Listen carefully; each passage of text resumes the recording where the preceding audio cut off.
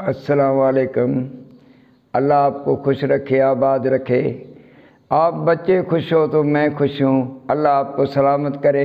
मामा रिंद आपके लिए हाजिर है मेरे बाबा साईं।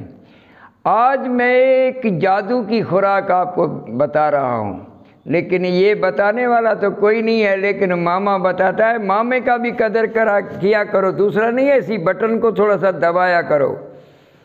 सर, अभी हर सब्ज़ी का टाइम है।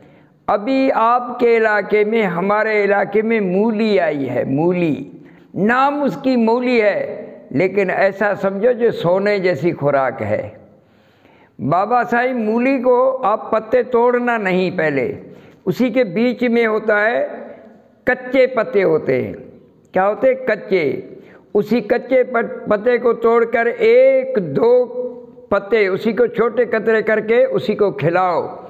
वो तो एक मैदे के लिए मुजहर, और खुराक इतनी खाएगा जो एक कुप्पी वाला डेढ़ कुप्पी, दो कुप्पी खाएगा। बोला, वो आटे आटे की चक्की आपने देखी होगी, सुनी होगी? उसी में जितना कनकी डालोगे, उतना आटा वो निकाल दिया जाएगा। लेकिन ये ऐसा है, मैदे के लिए और खुराक खाने के लिए। कोई दूसरी बात और भी है? कोई चित्र ऐसा होता है, छोटी सी विठ उतारता है। लेकिन जब भी उसका मैदा सेट होगा, ये मूली का पत्ता खाएगा, इंशाल्लाह बड़ी सी अंगुली जैसी दे, देगा विठ।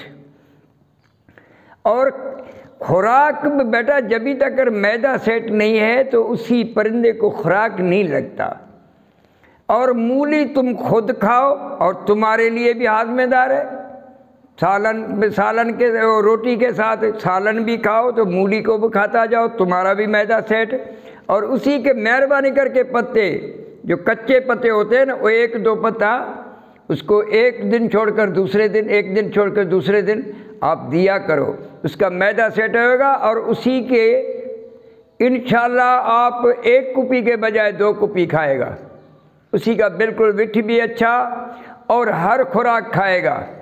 ये मैं आपके लिए ऐसा समझो, ये खुराक मैं तेरे तुम लोगों के लिए भेज रहा हूँ, भाइयों के लिए। मैं जब ये, मेरा नाम तो मामा रिंद है, लेकिन मैं खुद आप लोगों का खादिम हूँ। खादिम वो होता है जो दूसरे के काम आए, दूसरे के लिए काम करे। मैं आपके लिए काम कर रहा हूँ क्यों जे आप मेरा ऐलान बड़े शौकीनों के भी लिए आप पाँच महीने के पट्टे से लेकर आप दस साल तक करके अपने तितर को खिला सकते हो। असलकम भाइयों, एक अर्ज़ और भी करता हूँ। आप लाइक भी करो, मुझे ये पता चलेगा तो भाई मेरे मेरे को चाहते हैं। असलकम दुआओं में याद।